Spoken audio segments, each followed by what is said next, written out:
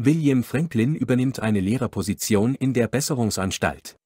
Im Gegensatz zu den anderen Erziehern ist er kein Geistlicher. Die Polizei bringt den neuen Schüler Patrick Delaney in Handschellen zur Schule, einen weiteren schwierigen Teenager, der zu zweieinhalb Jahren wegen Diebstahls verurteilt wurde. Franklin schickt den schuldigen Streithahn, um dies dem Priester John zu melden. Danach liest der Junge mit blutigem Gesicht unter der Aufsicht des Priesters ein Gebet an der Wand vor. Auf der allgemeinen Versammlung hört Priester John ein Rülpsen. Patrick Delaney leugnet, dass er es war. Danach schlägt der Priester ihn. Franklin greift dann in den Erziehungsprozess ein und packt Johns Hand, was ihm überhaupt nicht gefällt. Nachts weckt John plötzlich die Schüler und befiehlt ihnen, ihre Nachthemden auszuziehen. Draußen werden sie gezwungen, mit ausgebreiteten Armen zu stehen.